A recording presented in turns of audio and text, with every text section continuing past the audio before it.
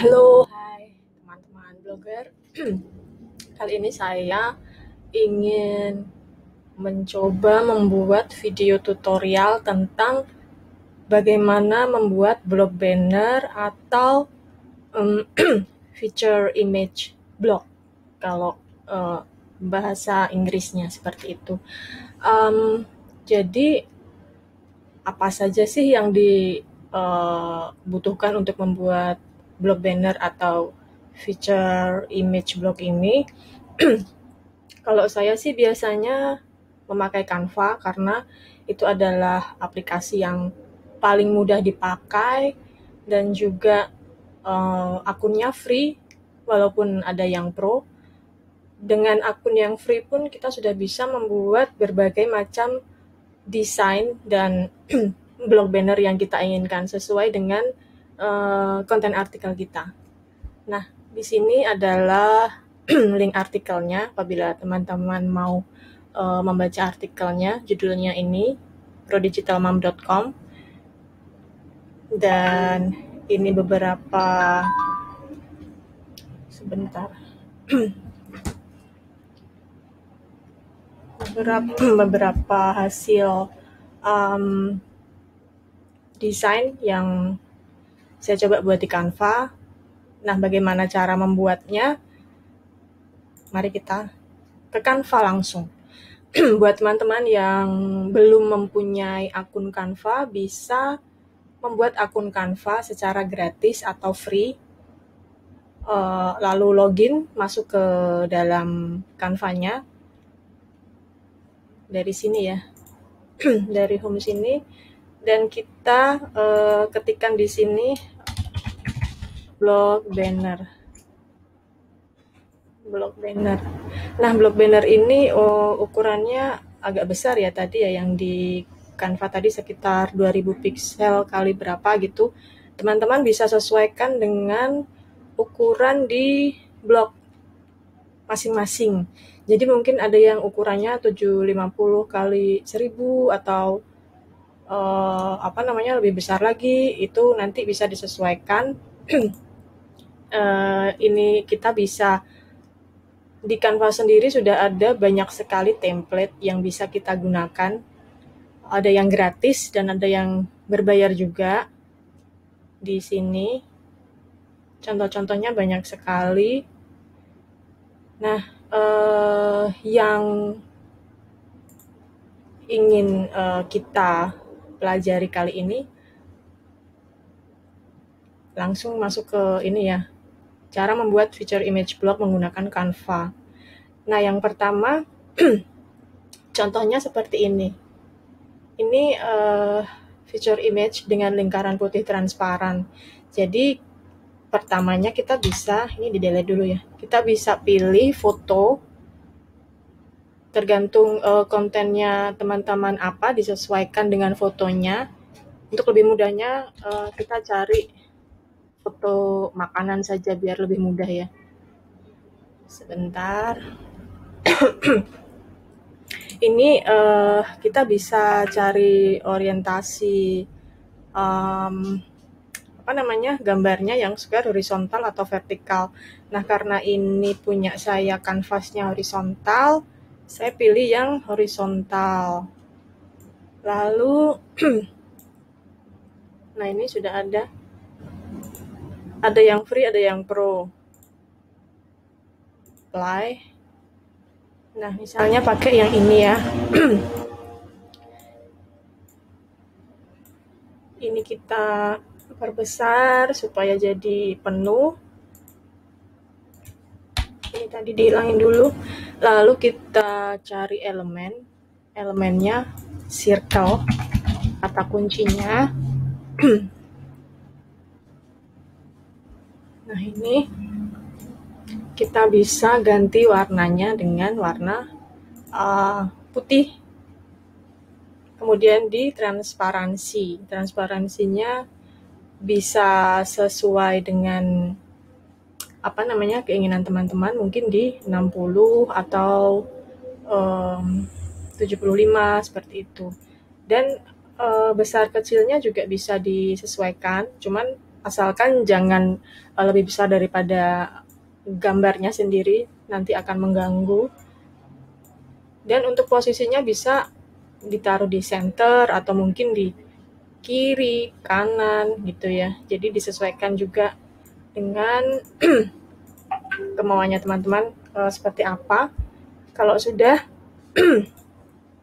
kita bisa kasih teks untuk uh, judul apa namanya judul artikelnya ya.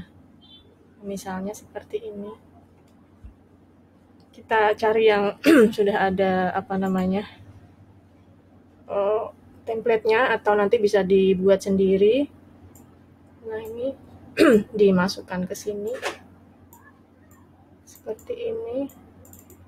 Ini bisa diganti nama blognya mungkin. Di sini Pro Digital Mom. Lalu di sini mungkin nama um, apa enggak batuk resep pancake. Contoh ya. Pancake kalau terlalu besar bisa dikecilkan. Seperti ini.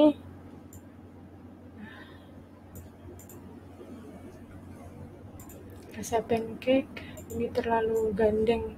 Di ungroup dulu biar bisa ke bawah. Nah seperti ini. Ini sudah di tengah. Udah ya. Lalu ini uh, mungkin bisa di diganti.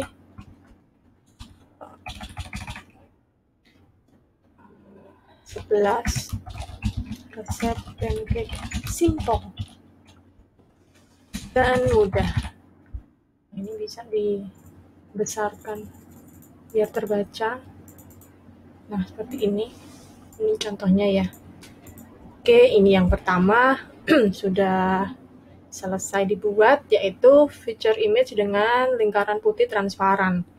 Nah yang kedua apa nggak batuk feature image dengan gradasi. Gradasi kalau di di uh, elemen sini gradient ya. Gradient. Nah ini contohnya seperti ini. Kita ulangi dulu fotonya fotonya pilih yang mana nih hmm, ini mungkin jadi pengen makan Nah, kalau grad tapi ini terlalu besar ya. Uh, sebentar. Gradient mungkin ini. Ini enggak terlalu gede. Oke. Okay. Uh, kalau gradient tuh uh, kita isi apa namanya foto atau image-nya uh, image-nya dulu, kemudian karena ini uh, apa namanya persegi kita cari square seperti yang pertama eh, yang pertama tadi lingkaran sorry salah oke seperti ini lalu kita kasih warnanya putih putih di transparansi seperti ini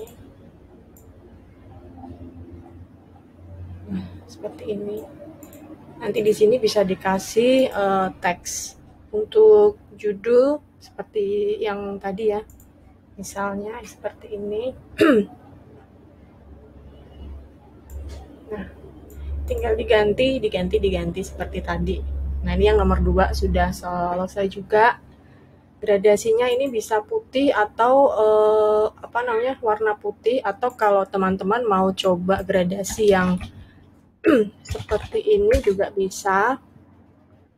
Nah ini warnanya warna gradasinya ada macam-macam contoh ya seperti ini ya. Nah ini bisa ditambahkan di atasnya atau uh, dipilih warna yang uh, sesuai dengan ini. Misalnya ini kan warnanya ada yang hijau atau uh, apa namanya wortel ini kan agak agak kuning gitu ya. Seperti ini.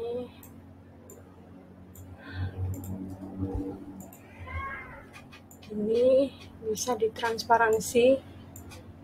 Nah itu. Udah kan ditinggal di apa namanya tambah gradient atau ditambah dengan overlay. Nah yang ketiga feature image dengan gradasi warna yang senada dengan warna image.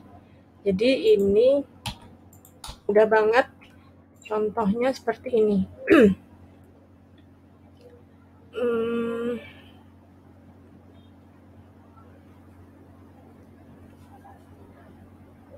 sebentar mana ya hmm, ini kali ya. Ini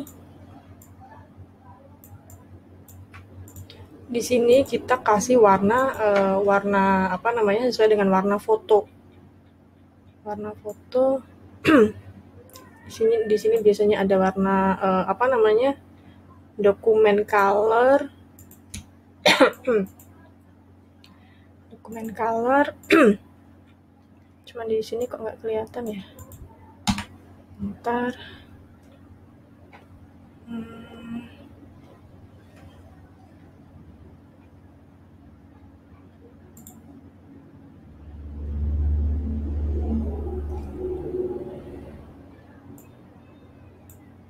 wow nasi yang menggoda ini apakah ada dokumen colornya? Dokumen colornya ternyata tidak ada. Hmm, nah ini contoh aja. Ini kan eh, latarnya backgroundnya agak gelap. Sebentar. Nah ini kurang tahu kenapa kok ini nggak mau keluar ya. Warna apa namanya uh, dokumen warnanya. Kita coba cari yang lain cek sebentar. Foto apa ya? Flower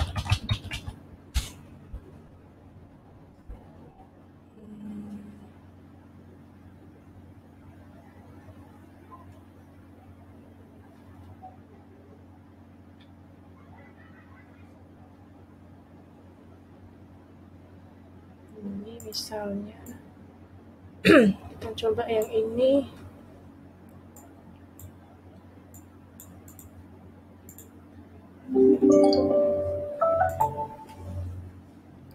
Ini uh, foto colornya ini ya. Kita bisa pilih 1 2 3 4 5. Nah, seperti ini atau seperti ini. Seperti ini. Bisa ditambah dengan uh, apa namanya? transpa transparansi. Bentar ya. Transparansinya cuman apa namanya? manual. Jadi kita harus kasih dulu uh, square element. Square element.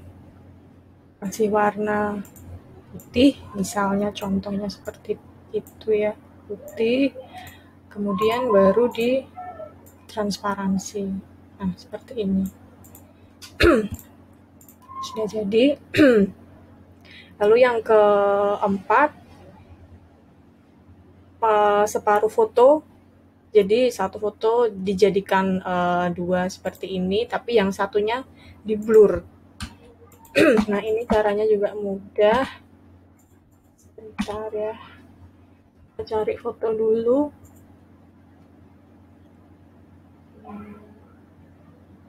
Mana nih foto yang bagus? Ini kali ya. nah ini. Oke, kita Ctrl C, Ctrl V, kemudian ditaruh di sini. Ini agak ke sana sedikit, agak ke sana sedikit. Oke. Tapi ini di uh, apa namanya? di blur seperti ini. Kemudian bisa ditaruh teks untuk judul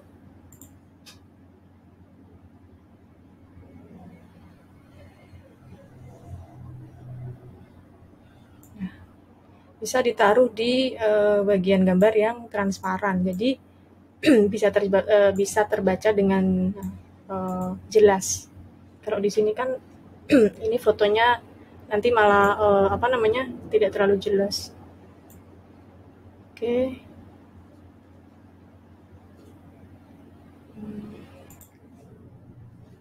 Lalu yang kelima, feature image dengan overlay hitam ini juga mudah kita cari dulu foto.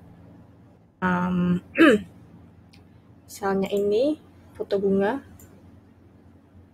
Ini bisa ditarik ke sana supaya lebih gede atau bisa langsung ditarik seperti ini ya teman-teman. Nah gitu. nah ini kita cari dulu um, square element kita kasih warna di dalamnya hitam. Kemudian kita apply ke semua bagian foto, lalu transparansi. Nah, seperti ini. Main di apa namanya? Main di angka transparansinya aja. Seperti ini. Nanti teksnya bisa ditaruh di sebelah sini. seperti ini eh sorry. Oke seperti ini ya. Nah yang keenam uh, feature image dengan brand palette warna. Brand palette ini kalau teman-teman punya uh, akun Canva Pro ya kalau yang free kita nggak bisa pakai karena hmm, hanya yang pro saja yang uh, dia itu ada brand brand kitnya. Brand kit itu seperti misalnya uh, logo yang kita pakai, lalu ada beberapa apa namanya warna color palette. Misalnya kita punya beberapa blok uh, dan ke color paletnya lain-lain kita bisa taruh di sini dan juga uh, brand font yang kita pakai untuk masing-masing blok kita bisa upload sendiri atau kita bisa pakai yang ada di Canva. Nah, ini sebagai contoh saya pakai uh, brand color palette yang dari Pro Digital Mom di sini. Contohnya seperti ini, foto. Kita cari foto dulu. Um, foto apa ya? Foto orang biar happy. um, nah, misalnya ini lalu kita cari elemen square elemen. Nah ini di sebelah kiri ada uh, brand color warnanya ya kalau kita pakai yang pro. Jadi untuk teman-teman yang pakai masih uh, free free akun mohon maaf ini belum bisa digunakan. Cuman nggak apa-apa ini supaya bisa jadi uh, bisa tahu gitu aja ya. Nah ini kita bisa sesuaikan uh, intensitas transparansinya seperti apa. Oke, lalu yang ketujuh, feature image dengan kotak warna. Ini mirip dengan yang di atas tadi ya, yang ini. Cuman ini circle, kalau yang ini square. Mana tadi ya? Nah, kalau yang ini square, sama caranya dengan yang nomor pertama tadi. Uh, untuk apa namanya warna kotaknya bisa disesuaikan dengan um, brand color kita atau juga dengan uh, foto image yang ada di sini. Ini foto colornya.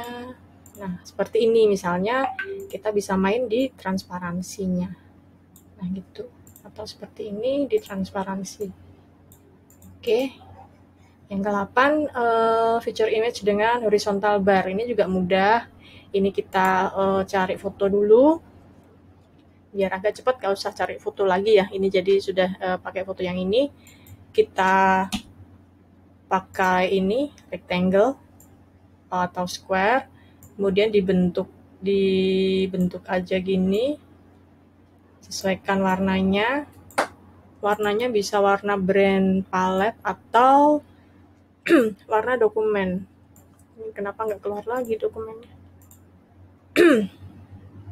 warna dokumen yang eh apa namanya warna ya dokumen color yang seperti ini. Nah ini bisa uh, apa namanya dimasukin gini bisa atau langsung ke garis juga. Boleh terserah teman-teman bagusnya yang mana. Nah nanti di sini bisa dipakai untuk judul. Jadi ini di ungroup dulu nanti bisa di apa namanya pilih um, fontnya dan juga apa tulisannya misalnya uh, seperti yang tadi ya blog atau ini judul artikelnya juga bisa. Oke, lalu yang kesembilan white overlay ini juga mudah banget. Jadi kita cari foto, um, contoh ya, yang langsung ada di situ biar nggak kelamaan. Kita cari elemen yang square, kemudian uh, oh kita kasih white. Lalu ini di full kan? Dan transparansi main. Nah seperti ini. Gampang kan yang ke 10 vertical bar. Ini sama dengan yang square eh, apa namanya yang circle sama yang kotak tadi. Cuman ini bentuknya eh, variasinya memanjang jadi sama saja. Kita cari foto. Kita cari foto. Lalu kita cari elemen yang square seperti ini. Nah, bisa di uh, langsung masuk ke tepi garis atau bisa sedikit dimasukkan seperti ini. Dan kita pakai um, photo colors jadi kita pilih, itu ada beberapa pilihan. Transparansi jangan lupa. Nah, seperti ini. Oke, teman-teman. Selamat uh, membuat feature image dengan Canva. Uh, kalau ada yang mau ditanyakan bisa komen di uh, YouTube di bawah atau bisa juga di artikel yang artikel ini ya. Atau bisa juga berkirim email, nanti pasti akan saya balas. Oke, terima kasih.